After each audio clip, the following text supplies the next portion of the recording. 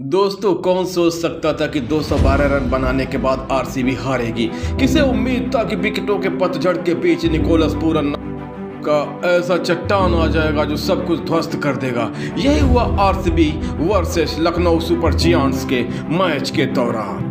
RCB ने पहले बल्लेबाजी करते हुए विराट कोहली के आ, चौवालीस गेंदों में इकसठ रन ग्लेन मैक्सवेल के 29 बॉल में 59 रन और डुप्लेसिस के 46 गेंदों में 79 रन के दम पे 212 रनों का विशाल स्कोर खड़ा किया।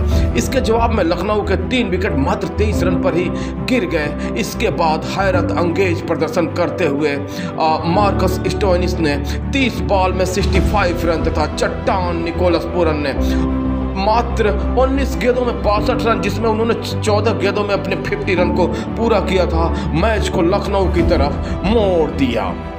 निकोलस पूरन के कहर का अंदाज़ा इस बात से लगाया जा सकता था कि उन्होंने छक्कों का, छक्का पूरा कर दिया था। जब लग रहा था कि लखनऊ जीत आसानी से जीत जाएगी, तभी जयदेव जयदेव उनाद कट आउट हो गए। इसी ओवर में आयुष बडोनी भी हिट विकेट हो गए। सबकी धड़कनें तेज हो चुकी थी, नब्ज बैठने लगे थे, लेकिन इसी समय आवेश खान ने बाई रन लिया और लखनऊ ने ऐतिहासिक तीज दर्ज करके आरसीबी को सदा के लिए एक दर्द। दे दिया